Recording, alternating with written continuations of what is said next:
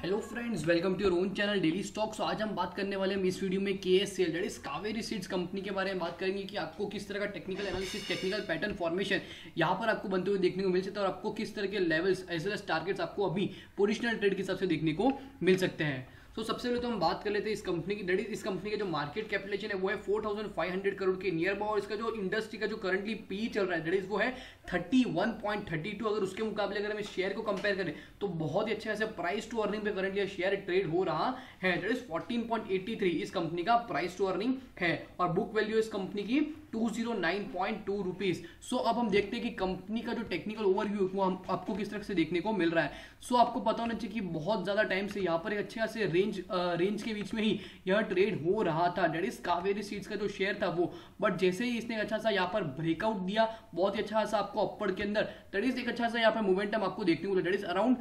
Six से लेकर near by इसने हाई बनाया।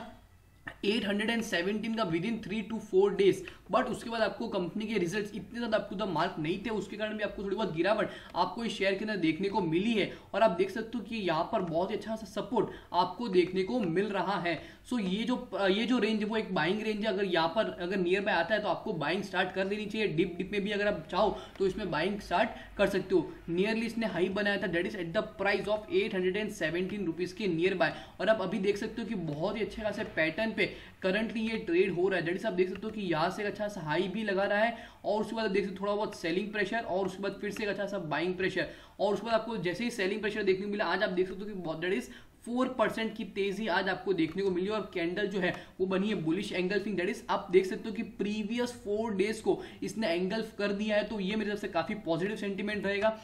उसके साथ में जो आप देख सकते हो कि जो प्रीवियस से प्रीवियस वाला जो हाई था, वो था nearly around seven forty eight के नियर बाय उसने जो क्लोजिंग दी है, वो है सेवन फिफ्टी के नियर बाय सो अगर आप कल भी इसमें अगर बाइंग स्टार्ट करते हो तो मेरे हिसाब से आपको फ़र्स्ट टारगेट आपको सेवन एट्टी फाइव रुपीज़ का, आराम से that is current market price है सेवन फिफ्टी तो seven eighty five that is almost आपको ऑलमोस्ट आपको थर्टी फाइव रुपीज़ का यहाँ पर आपको प्राइस मोमेंटम आपको जल्दी देखने को मिल सकता है ऐसा मेरा expectation according to analysis just because आप देख सकते हो कि यहाँ पर एक अच्छा सा हाई पैटर्न आपको यहाँ पर फॉर्म होते हुए देखने को मिला है। अगर आप एकदम पोजिशनल ट्रेड लेना चाहते हो तो मेरे हिसाब से ये जो करंट मार्केट प्राइस है सेवन फिफ्टी पे बाय करके आप nearly eight hundred and twenty या फिर एट हंड्रेड एंड फिफ्टीन के आसपास आप आराम से यह शेयर को खरीद के सेल कर सकते हो। सो so, होप करता हूँ कि ये जो शेयर